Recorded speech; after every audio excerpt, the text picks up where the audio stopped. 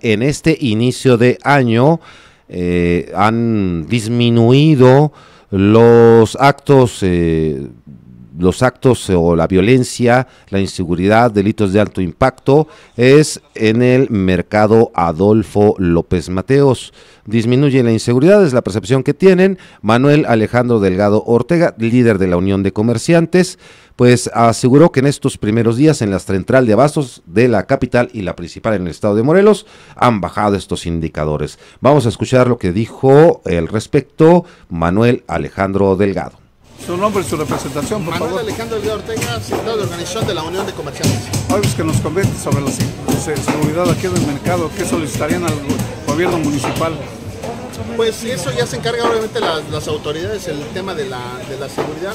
Nosotros como comerciantes, bueno, invitar a la ciudadanía y decirle a la ciudadanía que hasta ahorita no hemos este, presentado eh, problemas en cuestiones de temas de, de delitos de bajo impacto como antes se, se mencionaba el, caso concreto de los cadeneros, de los que se roban las bolsas y desde luego también de aquellos que dan billetes falsos. Hoy en día estamos ausentes de esos delitos aquí en el mercado y desde luego invitar a la ciudadanía que, a que acuda a visitarnos.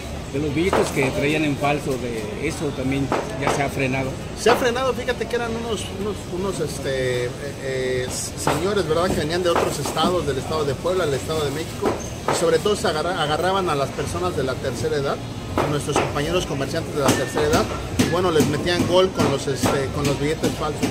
Hoy en día prácticamente eh, nosotros como Unión de Comerciantes invitamos desde luego a las personas de la tercera edad, a los compañeros comerciantes, a darles esa capacitación en cuanto a los billetes falsos y toda esta, esta cuestión para que no se lleven una sorpresa, porque al final del día, hoy en día sí duele que nos peguen en el bolsillo y más de esta manera. Desde luego que bueno, no hay que esperar que la inseguridad llegue y afecte a, tanto al comercio como al- a los consumidores. ¿Cuál sería el llamado?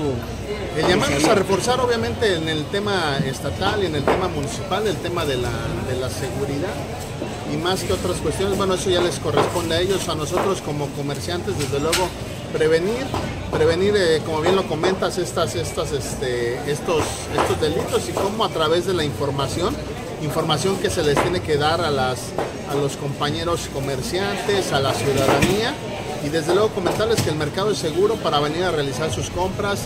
Realmente somos gente de trabajo, gente honesta y la mayor parte de los comerciantes, bueno, estamos viviendo, vivimos de esto y, desde luego cuidar, cuidar lo más sagrado que tenemos, que son los- nuestros clientes.